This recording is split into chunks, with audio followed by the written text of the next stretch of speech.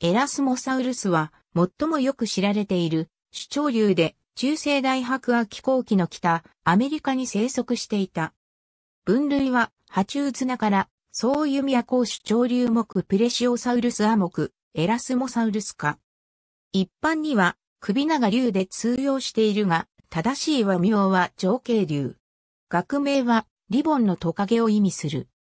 人間との大きさ比較全身骨格首の長さは8メートルと、主潮竜の中でも極めて長く、体長は約14メートルに達する。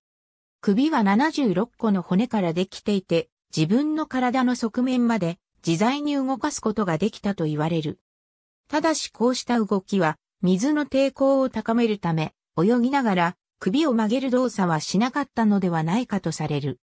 ビアソン状の胴体は短く、腹あばらを持っていたため柔軟性に欠け、尾は短くヒレはない。そのため胴体をくねらす泳ぎ方はできなかった。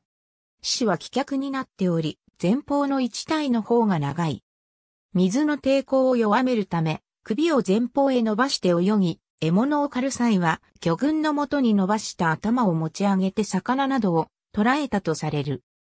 また別の説では、水上へと頭をもたげて泳ぎ、獲物を発見した際は首を水中に突っ込ませ、獲物を捕らえていたとされる。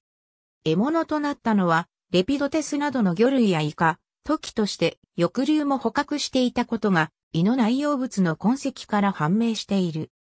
これに混じって、時折遺跡が発見されることがあるが、これには遠く離れた場所の石が混ざっていることもあり、遠洋まで遊泳する習性があったとされる。発掘された場所は、アメリカ、ロシア、日本、オセアニアなどであるが、発掘される頻度などから、おそらくは、北方のやや冷涼な海を好んでいたが、時折南下することもあったとされる。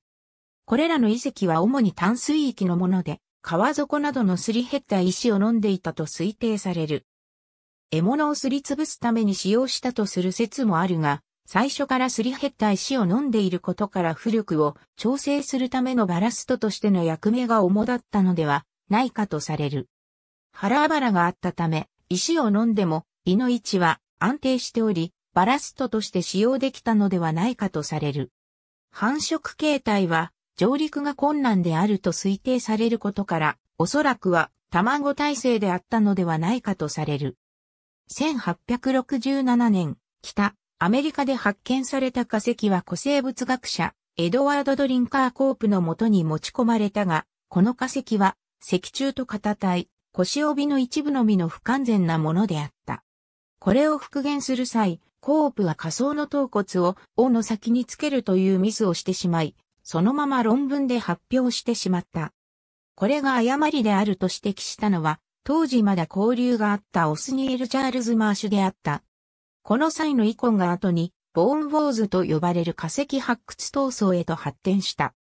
2011年、1987年に発掘された主潮流の一種であるプレシオサウルスの化石の体内に胎児の骨格が残っていることがアメリカの研究チームによって確認された。このことから主潮流が体制であったことは間違いないと見られている。ありがとうございます。